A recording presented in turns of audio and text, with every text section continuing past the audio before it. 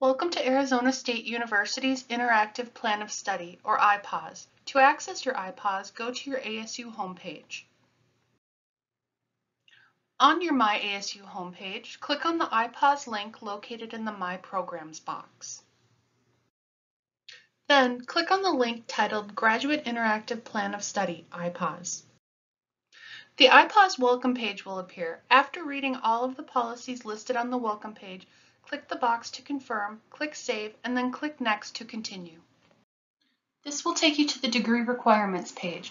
Select the culminating experience you wish to pursue. There may be only one choice available for your degree. Save your selection and click Next to continue to the next tab. You will now be taken to the Course Admin tab. Select the term you plan to complete your degree program from the Anticipated Graduation Term drop-down menu. The Course Admin tab allows you to enter courses you will take and apply towards your degree. Click on the red toolbars to begin adding courses to your iPOS. If you have previously completed graduate courses or are currently enrolled in ASU coursework you wish to add to your iPOS, click on Add from Transcript. Now, check the boxes for the courses you wish to include on your iPOS and click Next. To add courses to your iPOS that you plan on completing in the future, click on Add Future Courses. To add the courses you plan to take, enter the subject and course number or range and click Search. Select the course from the course search results and click Next.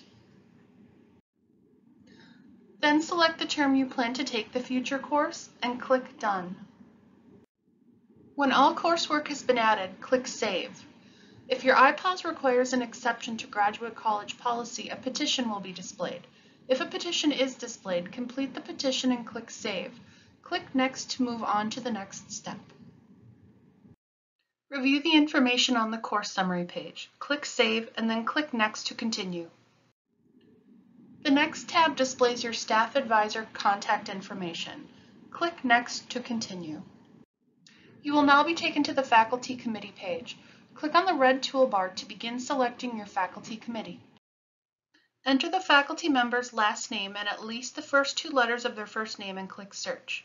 If you're unsure of who to add as your faculty committee, contact your staff advisor for further assistance. To select the faculty member, click on their name. Select the role your committee member will be serving in and click Done. If more faculty need to be added, repeat these steps. Once completed, click Save and then click Next to continue. The last tab is the iPOS Summary Submit page. If everything looks correct, check the box acknowledging that the iPOS submission is accurate and complete and click Submit to forward your iPOS to your academic unit for review. Once your iPOS is reviewed and approved by the academic unit and the graduate college, it is officially complete.